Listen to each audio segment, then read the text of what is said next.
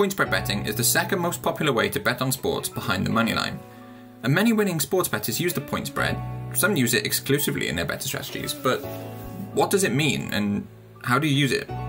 This video will explain all you need to know. Stay tuned.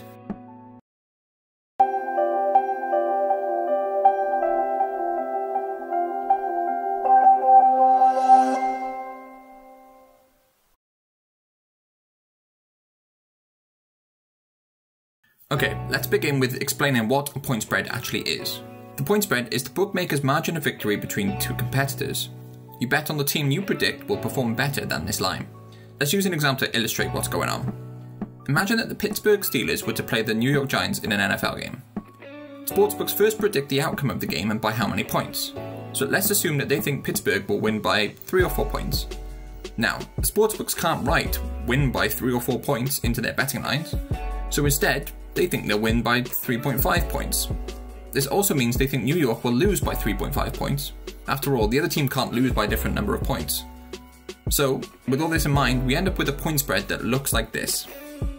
Now, if you look under each team's name, you'll see that there's a margin of victory given to either team. Each team is then given either a minus sign or a plus sign.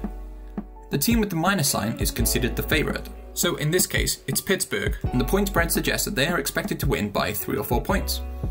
Similarly, the team with the plus sign is considered the underdog, and in this case, it's New York, and the point spread suggests that they are expected to lose by 3 or 4 points. A team covers the spread when the favourite or underdog wins after taking the point spread into account. Okay, so let's now discuss how a point spread bet wins. Let's say you bet on Pittsburgh to cover the spread.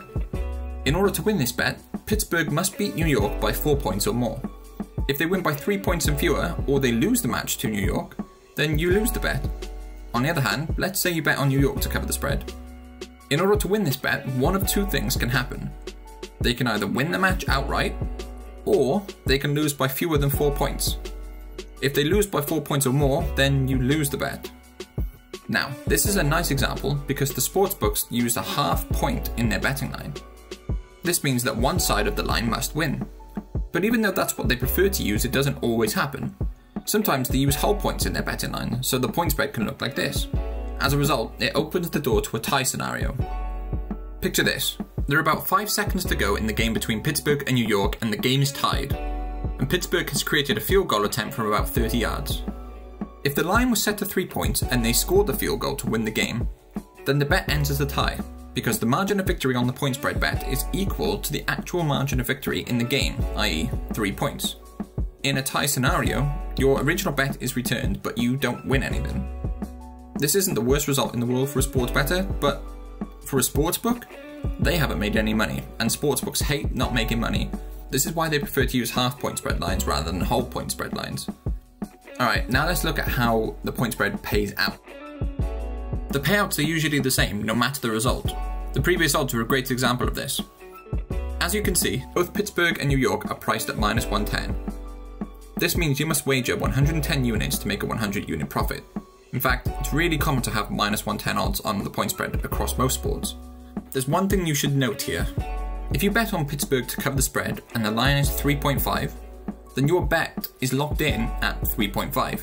If the line moves to say 4.5 or even down to 2.5, it doesn't matter. Your bet is still at 3.5. You can find more information about point spread betting on our website at ghostbettingtips.com. The link is in the description. And if you enjoyed this video, make sure you give it a like and subscribe for more videos like this. Thanks for watching.